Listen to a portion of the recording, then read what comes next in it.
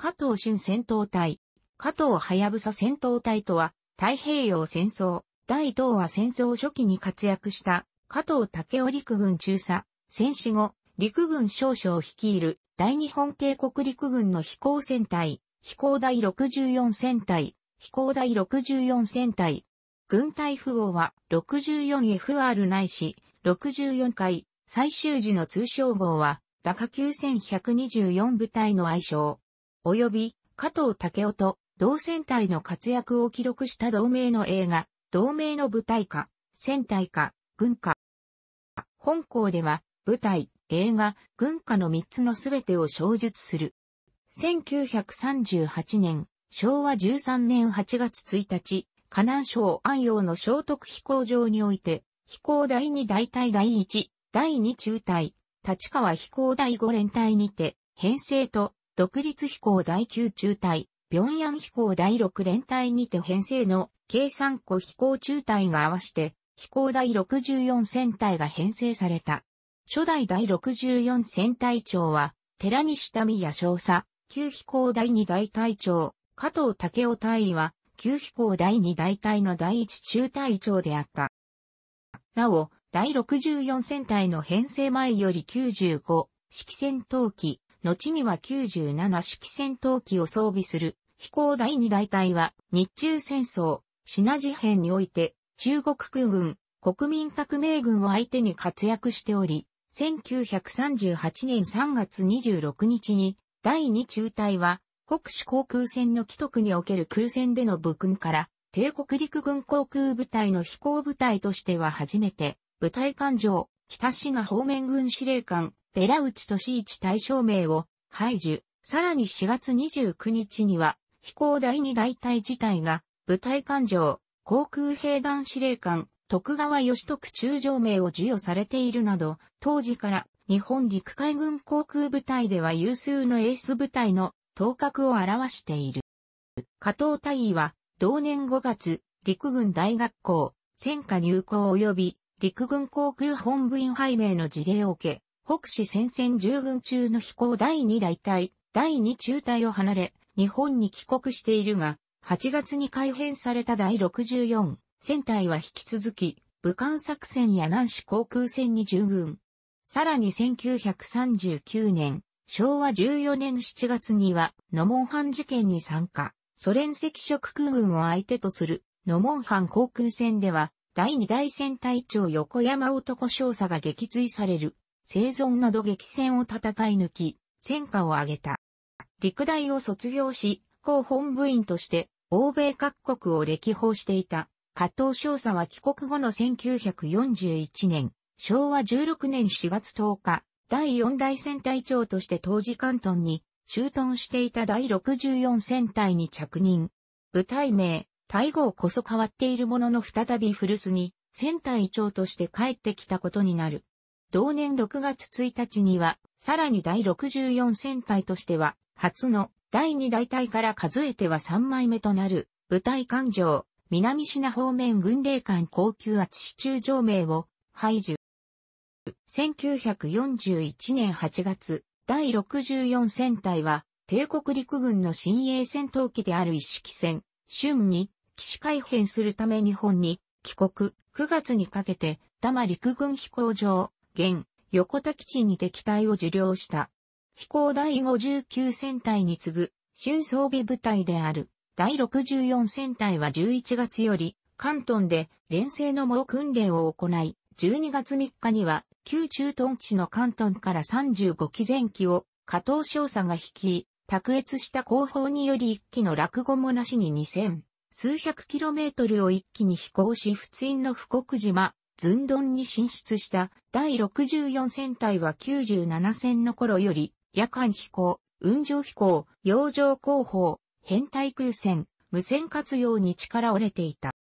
なお、加藤自身はもともと期43、春の採用には否定的なスタンスであったため、第64戦隊長として機体を受領した後、春体制にかける情熱に当初周囲は驚いている。この時、加藤は到着後直ちに短期の模擬空戦を初めて乗る、旬で行ったが、定位からの空戦演習に陸軍飛行実験部実験隊の荒牧義次隊に勝てず、どうしても定位からの空戦に勝ちたいと思っ、ともぎ空中戦を4度、繰り返し、荒牧を驚かせている。なお、一式戦に、春という愛称が、陸軍航空本部報道官によって、公式命名されたのは、太平洋戦争開戦間もない1942年3月で、あるが、その、春の名は、一式戦をもって活躍することとなる、第64戦隊部隊下冒頭のフレーズ、口述から取られたものとされている。第7飛行団に所属する第64戦隊は12月7日より対米戦争、太平洋戦争開戦に向けてマレー作戦の主力第25軍司令官山下智之中将を乗せた上陸部隊輸送船団の海上空中護衛を加藤省先以下7機が実施。夜間、洋上、悪天候、長時間という特に探査戦闘機にとっては最悪の条件にもかかわらず、これを成し遂げた悪天候により、高橋三郎大尉、中道角造将尉、鈴木正義順位機未帰還。帰還後の翌8日、マレー半島北部の連合軍航空戦力に対し、航空撃滅戦を展開するため、第64戦隊はほとんど休養を取らずに午前9時50分、日本時間に加藤小石下前機が出撃。第2中隊機がブレニム1機、第34飛行隊、スミス軍装機を撃墜、損傷、バターワース飛行場に胴体着陸、さらにバターワース飛行場の在地敵機に対し、機銃操車シブレニム4機、第34飛行隊を、は、第64戦隊の損害は皆無で前機が無事、帰還した。マレー作戦の主要戦場は、日本軍に対して数倍の規模を持つ連合軍地上戦力への攻撃であり、常に日本軍航空戦力の制圧下に置くことが勝利の条件であった。このため、第64戦隊も日に複数の長距離の工程を経て、地上支援と哨戒戦闘を行い、連合軍機の多くを空中、地上で撃墜破した。第64戦隊の春と連合軍戦闘機との空中諸行戦は12月22日であり、春23機はクアラルンプール飛行場を攻撃、迎撃に現れたイギリス空軍第453飛行隊のバッファロー12機と光戦。1機を喪失、リード軍装機と衝突するも3機を撃墜、4機を撃破、富士に損傷する戦果を挙げた。マレー作戦の最終目的地であるシンガポール攻略中の1942年1月20日、数日前に中東方面より新鋭補充機として同地に到着、配備されていたハリケーンと第64戦隊は初めて交戦。この空戦で、隼は1機を喪失するも、敵指揮官機を含むハリケーン3機を撃墜した臨時第232飛行隊ランデルス少佐機、マーチパンクス少尉機、ウィリアムズ少尉機、当初から、歩 132.7mm 機関砲2門を装備した特別使用機である。加藤小先は一連射後、6発でウィリアムズ小域を発火撃墜する活躍を見せている。最初期の春の武装は、歩 1312.7mm 機関砲1門、89、式 7.7mm 機関銃1丁の混成装備が標準。12.7mm 機関砲2門が標準となるのは1942年半ば以降。この後、第64戦隊は、ライン作戦、インドネシア、ビルマ作戦、ミャンマーにも転戦し、連合軍に勝利を重ね、各南方作戦において、春と64戦隊はその威力を発揮した。なお、加藤少佐は、マレー作戦において、しばしば上層部からの指示を超える範囲まで攻撃を行っている。これによって地上部隊の進撃速度は上がったが、操縦者ら空中勤務者の疲労を招き、飛行場代替といった整備員ら地上勤務者の派遣も追いつかないという問題が生じた。軽い戦闘整備については当初操縦者自らが行っていたが、後に移動の際に操縦席後部と胴体に着付けの整備員を同乗させていた。燃料も占領した飛行場において遺棄された敵機から抜いて、春の運用に充てたという。中でもライン作戦における1942年、昭和17年2月14日のパレンバン空挺作戦では、第59戦隊と共に、加藤の統一式のもと、スマトラ島パレンバン油田に落下山降下する陸軍空挺部隊、空の神こと第一挺進団、百式輸送機、露式輸送機を護衛、援護。第64戦隊は、ハリケーン15機と交戦するも、マクナマラ小域、マッカロック小域の2機を撃墜し残機も、撃退、内撃墜1機は、加藤戦火。さらにもう2機が、燃料切れで富士着支英軍損失は、計4機、かつ、春及び、高風に輸送機に、損害もなく、一方的に勝利している。南方資源地帯掌握のため始められた太平洋戦争において、東南アジア屈指の大油源地帯であるパレンバンは、戦略上の最重要攻略目標であり、その確保に大貢献した、春と第64戦隊の働きは相当ものであった。第64戦隊は終戦までに計7枚、うち1枚は、戦隊長、加藤少将の個人感情、飛行第二大隊時代を含めると、計9枚と日本陸海軍最多数の艦上を排除しているが、うち3枚は、マレー上陸作戦、パレンバン空挺作戦、ジャワ上陸作戦の活躍によるものであった。以下一連の一式戦の戦果は、戦士家、梅本博士が日本軍の戦果記録を連合軍の損害記録たる一次資料と紹介した確認ができた最小限で確実な数字たる戦果である。第64戦隊、第59戦隊の一式戦は、太平洋戦争初戦の空戦において、実質約4倍の数を、対戦闘機戦では、約3倍の数の敵機を撃墜した。各地を制圧した第64戦隊は1942年3月21日からビルマ戦線、ビルマ航空戦に参戦。以後、主にイギリス空軍及びアメリカ陸軍、初期はフライングタイガースを含むと交戦し、同月23日には損害なくハリケーン1機を撃墜、第136飛行隊、ブラウン小域し、同戦線における初戦果を収めている。このビルマ航空戦に第64戦隊及び飛行第50戦隊は長期間従軍しまたエースパイロット多数を輩出、一式戦を主力とし、対戦末期に至るまで、連合軍空軍と互角の戦いを繰り広げた。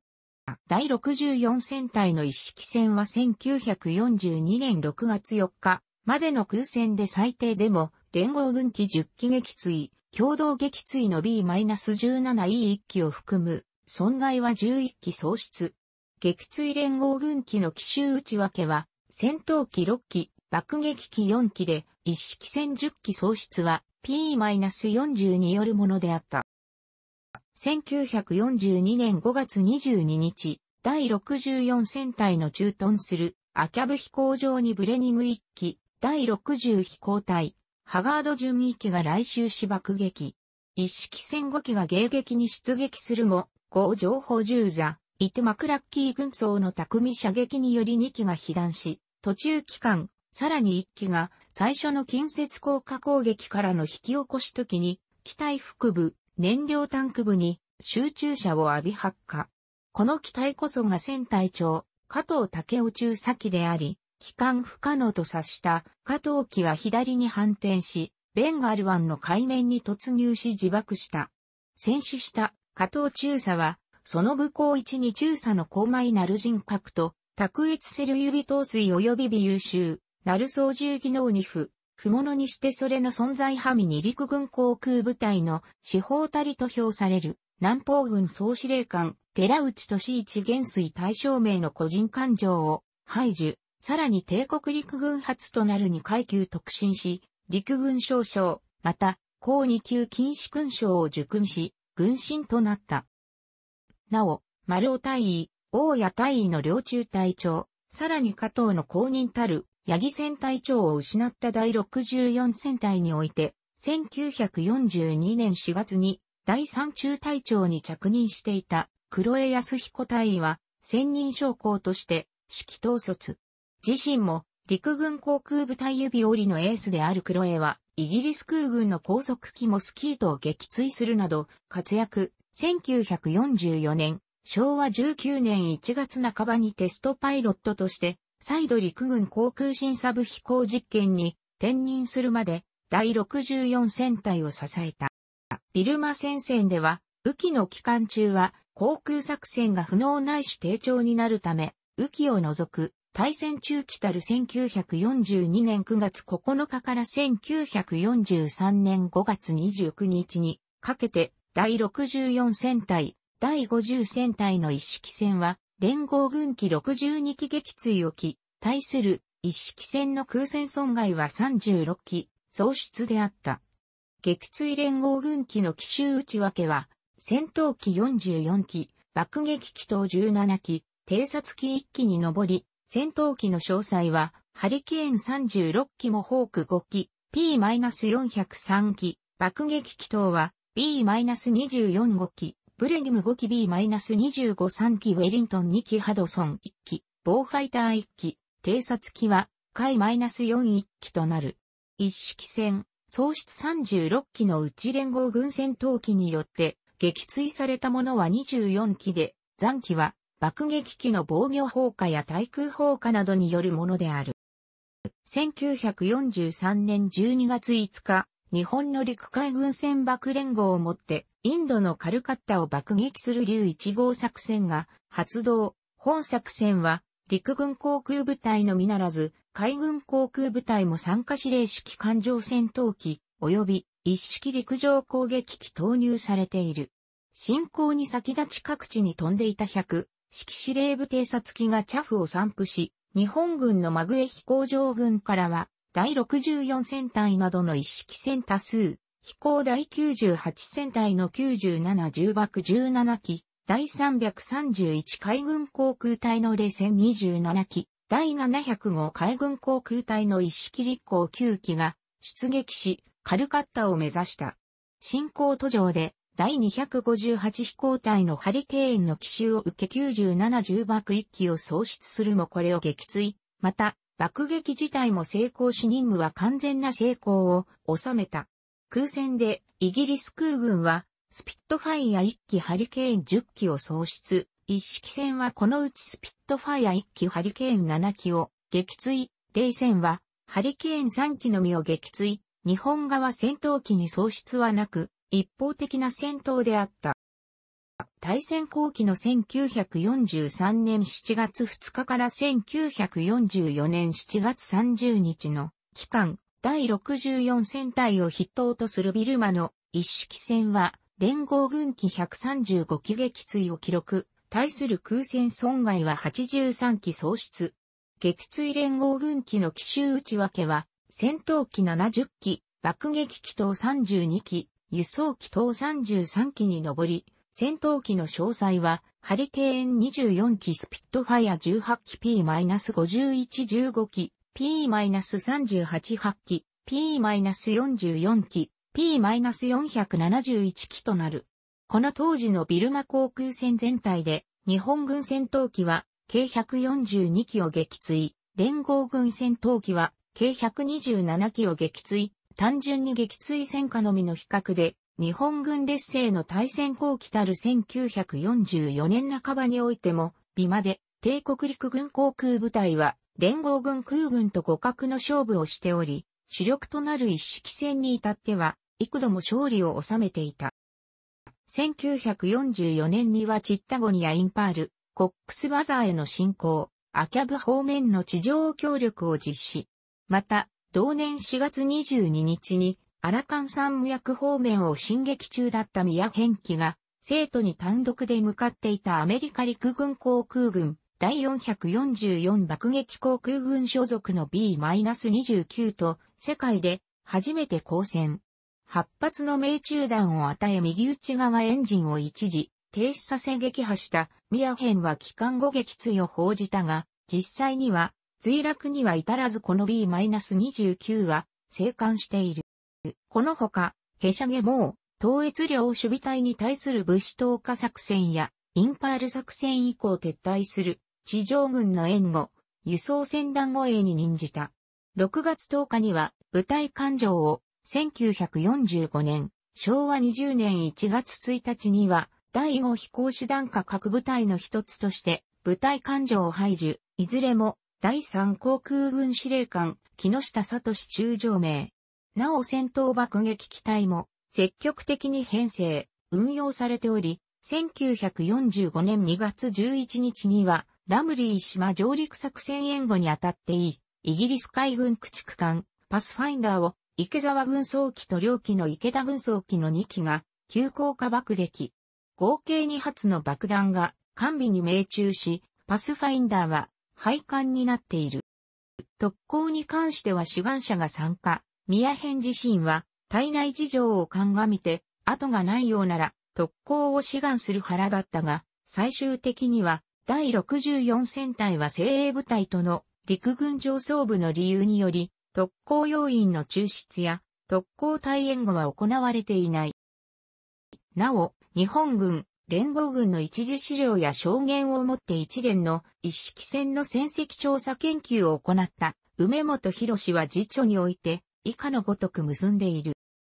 1945年8月15日、太平洋戦争開戦時の進出基地であった富国、島、ズンドンにて、タイランド湾の戦団援護を最後の任務とした第64戦隊は、翌16日に南部仏院のクラコールに移転し、敗戦を迎えた。この時点での保有機は、春3型、機 43EE18 機だった。飛行文化、戦闘の飛行戦隊の定数は42機だったが、対戦後期には充足されることはほとんどなかった。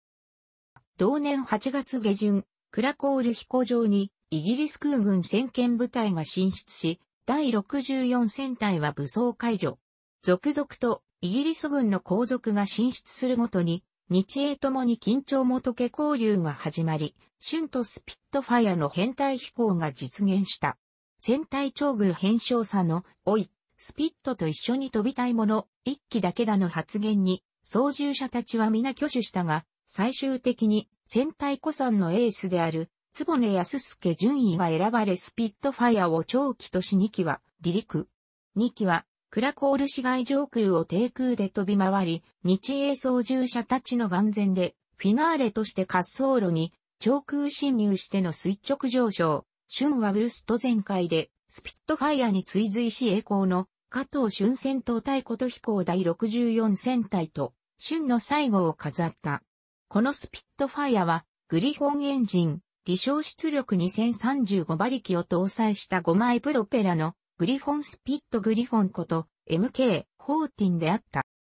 第64戦隊の主要機種は前進部隊時代を含めて95戦、97戦、一式戦、春及び戦力強化のために若干数が送られた二式戦、正気。この他露獲したハリケーンを一時期若干数保有していた。なお、第64戦隊と共に長く、ビルマ航空戦を戦っていた、同じく有数のエース部隊である、第50戦隊は1944年夏に4、式戦、疾風へ、機種改めしているが、第64戦隊は、疾風に乗り換えず、春を使用し続けていた。しかし、若干数の4式戦を保有していたとされる。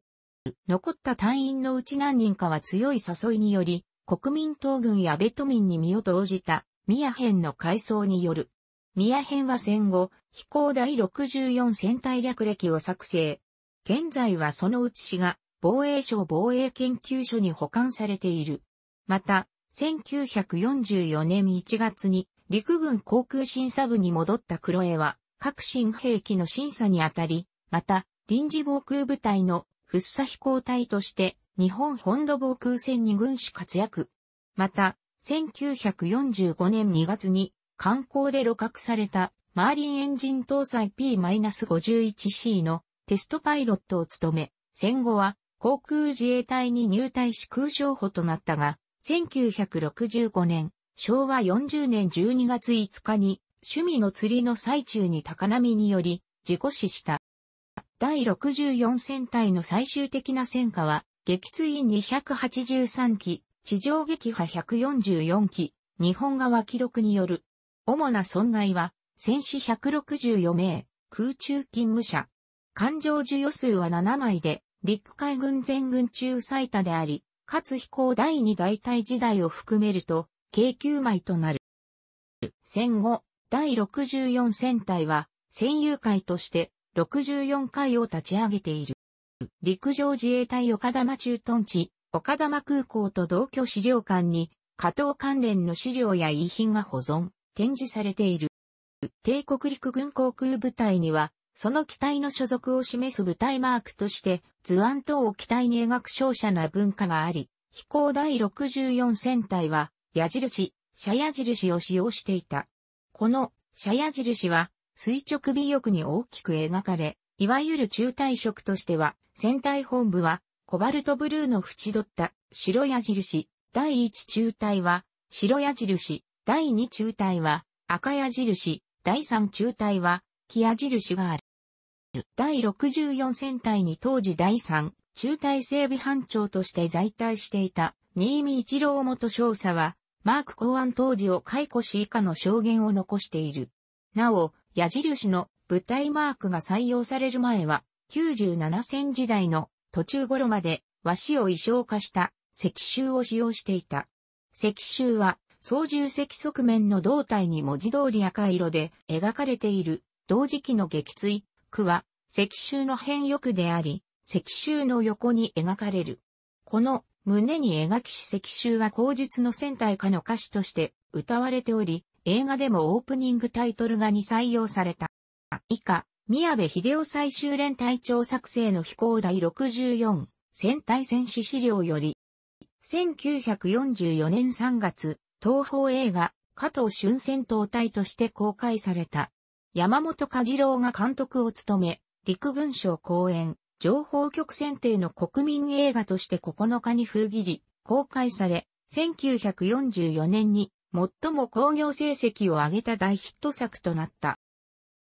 原作は第64戦隊に所属していた後の義足のエースこと日野木与平注意及び遠藤健、注意が中隊長教育を受けるために日本に帰国し、明野陸軍飛行学校、現陸上自衛隊明野駐屯地、陸上自衛隊航空学校の講習学生時代、戦隊の初戦の戦いぶりを表した加藤俊戦闘部隊である。原作者の一人の日野木は、1943年11月に P-51A と交戦中に右足を負傷し、内地構想となり、義足となった戦列に復帰、本土防空戦にて P-51D を確実撃墜するなど活躍、対戦を生き延び1991年、平成3年に71歳で死去した。もう一人の遠藤は著作の上司前に1943年5月15日に雲南で戦死している。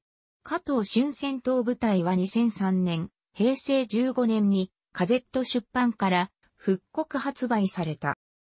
帝国陸軍の古参の戦闘機乗りとして空に行き、性格は合法来楽かつ部下思い、また車列気のある名式官名パイロットたる加藤の人物像そのものは名優、藤田進が演じている。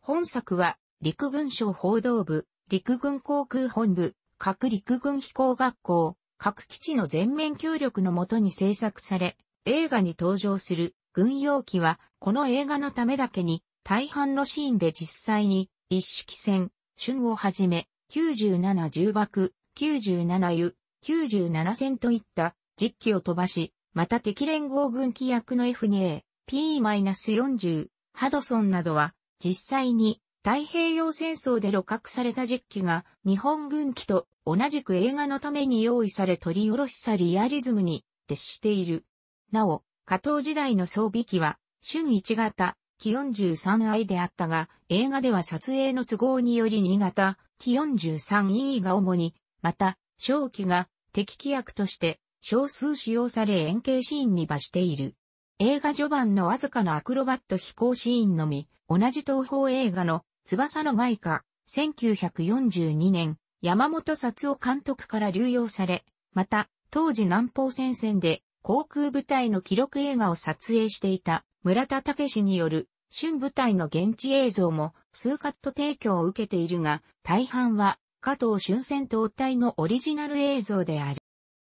さらに、帝国陸軍は本作の空中撮影用に偵察機、爆撃機、戦闘機計3機を提供。高度6000メートルでの空中戦撮影では、三村明カメラマンが夢中になって、撮影機の窓から半身を乗り出してしまい、これを山本監督が必死になって抑えるという一幕もあった。タイトルの通り、加藤と第64戦隊を主軸にしたセミドキュメンタリー映画であるものの、第64戦隊が空中援護したパレンバン空挺作戦も再現され、陸軍空挺部隊の降下、戦闘の各描写が丹念に、当映画のため撮影されている。このパレンバン空挺作戦の撮影には、陸軍の意向で30台の撮影カメラが動員され、カメラマンは画面に映っても、支障のないよう低身兵の降下服姿でこれを行った。カメラ30台を持ち出された東方撮影所は、このため一時他の作業がすべて止まってしまったという。重爆隊によるラングーンのイギリス空軍飛行場と、港湾の空爆描写に至っては、つぶらや英治の明特撮にて迫力を持って再現されている。特に飛行場爆撃の地上シーンでは、リアルな造形の格納庫や地上設備、ミニチュア撮影が続々と爆撃で粉砕されていく。そのすぐ横を避難する英軍将兵の集団を移動マスク合成、トラベリングマット合成により極めて完成度の高い合成映像に作り上げられていることから評価も高い。つぶらや特撮監督ら特撮班は本作のためにこの移動マスク合成の技法を開発し、日本初となる本格的導入を行った。爆発する格納庫の手前を逃げる将兵といった画面は、向山博士合成技師がフィルムを青と赤に染め分け、人物一人、カズとのマスク、黒く切り抜いた部分を作りはめ込んだものであるが、当時の資材としては非常に手間のかかるものだった。しかし本作で東方特撮班の合成技術は飛躍的に発展することとなった。